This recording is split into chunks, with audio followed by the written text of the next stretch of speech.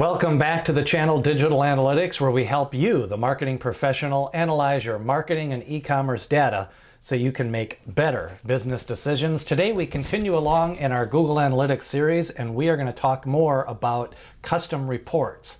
A few days ago we did a video on how to create a custom report, how to save your custom reports. Today we're going to talk about one of the best features in Google Analytics, which is gallery reports. You can submit other Google Analytics users submit their reports and then you can download them into your Google Analytics views and then use them and they're absolutely free. So let's go through step by step on how to download a gallery custom report. The first step you want to do is go to your customization in Universal Analytics and hit the custom reports button. Then you'll see three options, new custom report, new category, and import from gallery. You'll want to hit the import from gallery and that'll get you started in the process. So after you hit the import from gallery, a bunch of populated reports will come up. And if you notice on the left-hand side, there's an option to filter by category. And they've got things like branding, campaign, conversions, paid search, acquisition. There's over 50 to 60 reports that are already available. And you can download any one of them. You can download them all. Uh, you see the top one here, Occam's Razor Awesomeness. It's a collection of segments and custom reports.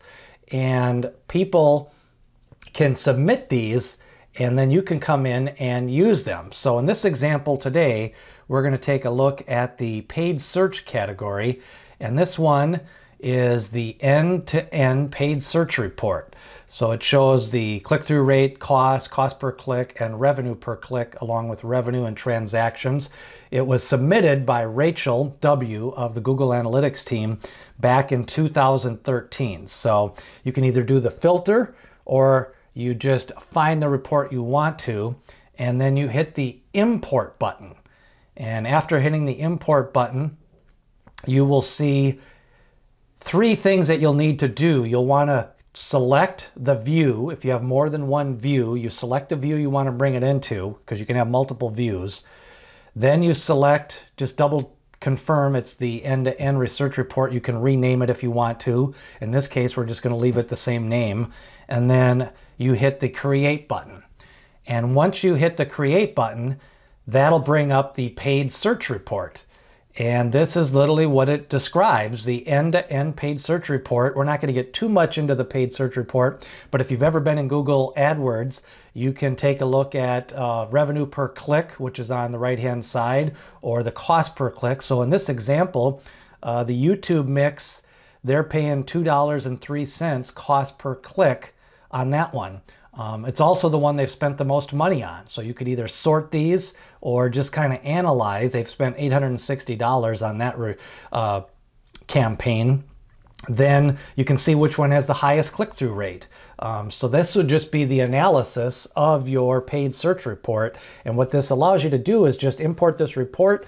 You can uh, download it, export it to Excel, or actually do the analysis right here in Google Analytics and give a chance to see your impressions, your clicks, and everything for all of your paid search activities. And you can do this in multiple views. You can do import uh, maybe an acquisition report or a conversion report. So lots of different options on the different import galleries.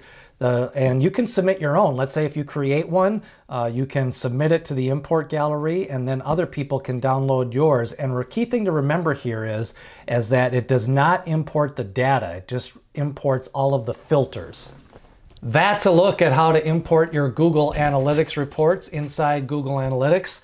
Course, uh, this one example today, we took a look at the paid search report, but you've got acquisition, conversion, goals, all the different things, and you can save as many reports as you want to, or you can build your own custom reports, uh, which will be the topic of another video. So hopefully that helps you importing reports from the gallery. Remember, if there's a video you'd like to see, just leave a comment below. Also check out our video on views that we did and then conversion rate optimization on as we continue along our journey of digital analytics.